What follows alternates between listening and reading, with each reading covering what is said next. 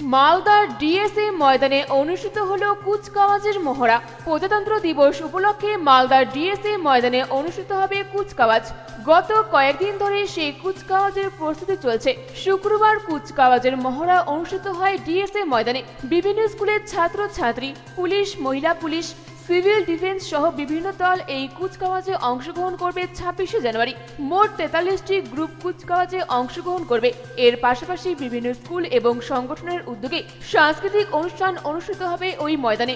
প্রজাতন্ত্র দিবসের কুচকাওয়াজে অভিবাদন গ্রহণ করবেন জেলাশাসক রাজশ্রী মিত্র ও police super Alok Rajoria.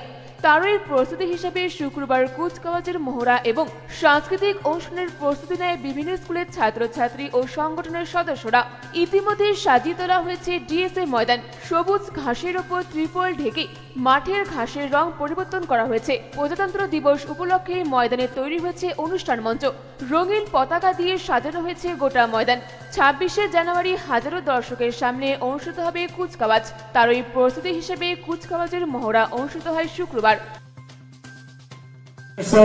Final rehearsal হয়ে গেল। চূড়ান্ত বাছাই পর্ব হয়ে গেল। আগামী ছাব্বিশ তারিখ প্যারেড পার্টি সকাল সাড়ে সাতটায় এখানে উপস্থিত হবে।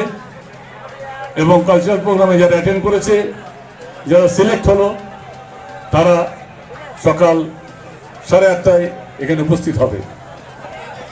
ভারতবর্ষের একাত্তরতম সাধারণতন্ত্র দিবস উপলক্ষে মাননীয় district magistrate Malda Shri Rajasree Mitra IAS মহাশয় অভিবাদন গ্রহণ করবেন।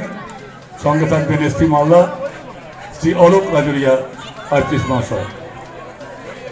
যারা প্যারেডে এবং কালচার প্রোগ্রামে অ্যাটেন্ড করছ, তারা ঠিক সময় মতো আসবে।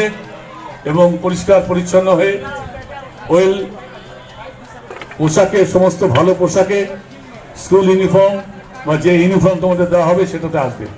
ঠিক সময় আসবে। উত্তরবঙ্গ নিউজ ব্যুরো, অখিল সরকারের রিপোর্ট।